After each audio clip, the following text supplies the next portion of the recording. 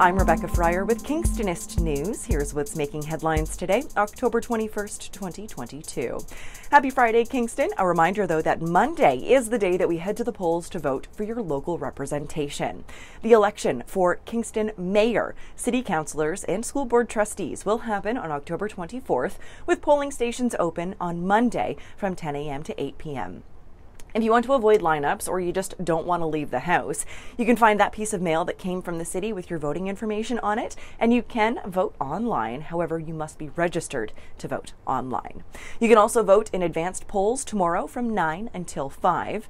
Do yourself a favor, check out kingstonist.com for full details and profiles of your local candidates to get yourself educated about them before you cast your ballot.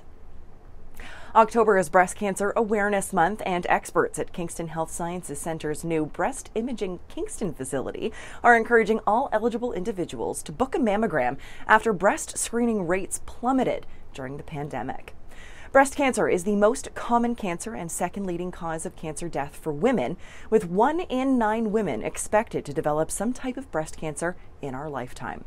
However, research shows that for every 200 mammograms performed, one person will be found to have breast cancer, and early detection is the best way to catch the disease before it has a chance to spread. Speaking of health, Kingston Health Sciences Center has declared yet another COVID 19 outbreak at Kingston General Hospital after two patients and a staff member tested positive for the virus on Connell 3. The Connell 3 unit is typically used as a transitional support unit that cares for and supports patients who are transitioning from hospital life to other living arrangements. Meanwhile, COVID 19 outbreaks continue in other areas of KGH, including Connell 9, Connell 10, and Kidd 7. The family of Kingston's Amy Haynes, who died suddenly on Sunday, October 2nd, will be hosting a very special Halloween themed drive through food drive this Sunday, October 23rd, in her honor. Before her passing, Amy had volunteered with local food banks for more than 12 years, and every Halloween she would dress in a food themed costume and go door to door collecting non perishables for the food bank. Amy's family says that while the last few weeks have been heartbreaking, planning and continuing the upcoming food drive has helped them with their grief. The Food Drive Drive Through takes place this coming Sunday, October 23rd at 6 Edgewood Road in Loyalist Township from noon until 4 p.m., with all donations going directly to the Partners in Mission Food Bank.